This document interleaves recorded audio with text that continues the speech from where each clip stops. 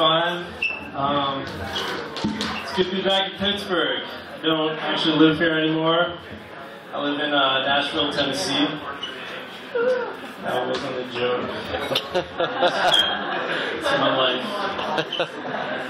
It's it's strange coming home every now and then because uh, every time I come to a bar like this, or not really this bar, but other bars, you know, I, I run into a lot of old high school acquaintances, not really friends, but. Uh, yeah. Where are those people? I don't know, Jack. and um, uh, you always get those like weird conversations with those people. Um, like, how are you doing? Oh, I'm living down on the south side now. Oh, that's great. That's great.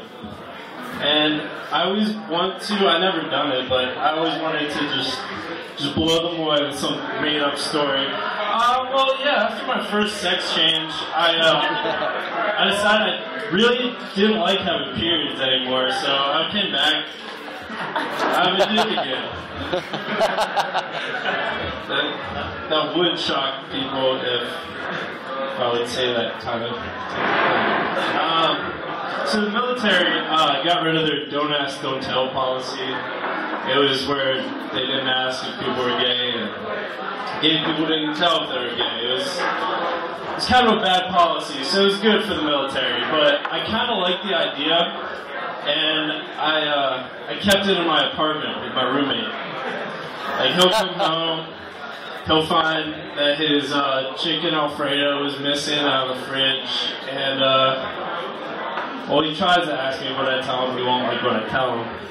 Uh, he does the same thing when he finds a wet balled up towel in his bed sheets. Alright. Is it weird that when I see a truck pulled over on the side of the road, I think there's a trucker inside just jerking it? I don't know if that's weird or not. I think other people think that. So it was Christmas. I'm sure most of you celebrated that. Um, when I was growing up, I didn't really believe in Santa. That wasn't a joke either. That's just the sad truth about my childhood. I was pretty skeptical as a little kid. I'd always try to set traps for my mom, posing as Santa, and uh, it never worked out. She, she was crafty. Um, so me and my uh, my family always has a secret Santa. Um, it's always twenty five dollars. It has been ever since I was little, and could actually have the money to to buy the gift, twenty five dollars. So this year I have my cousin Jeffrey, um, and he wrote some items that he wanted for Christmas on his little sheet when I pulled his name out of the hat. And the first thing on his list was uh, Call of Duty Modern Warfare 3, which is a video game. It's retailed at about $55. uh, Jeffrey's not my smartest cousin, and he's definitely not my coolest cousin, so there's no fucking way I was gonna get him that Christmas present. Since he's such a retard, I was gonna, I was planning on fucking with him a little bit. I was gonna maybe get him like a hooked on phonics thing, or a Sesame Street counting thing. I don't know. I don't know what those people. Special Olympics actually a twenty-five dollar entrance fee, but the deadline was a few months ago.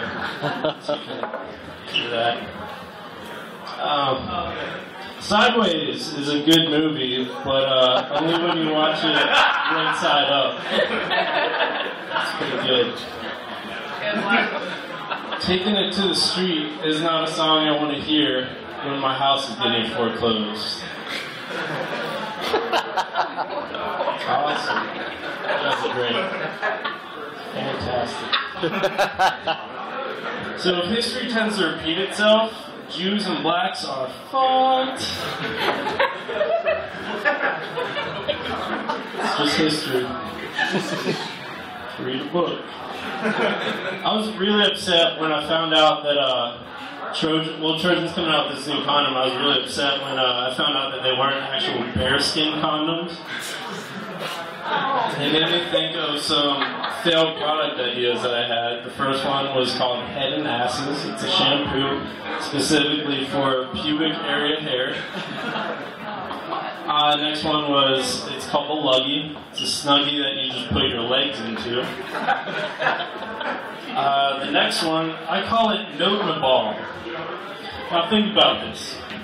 You're in a bar, it's loud, it's crowded, there's a lot of people, you can't really move, but you see uh, an attractive girl standing at the end of the bar, and you need to show her that you want to talk to her.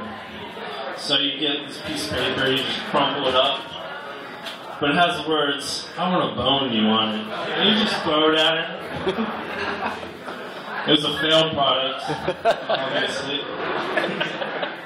I didn't say they all worked. I've been going to the dog park a lot recently.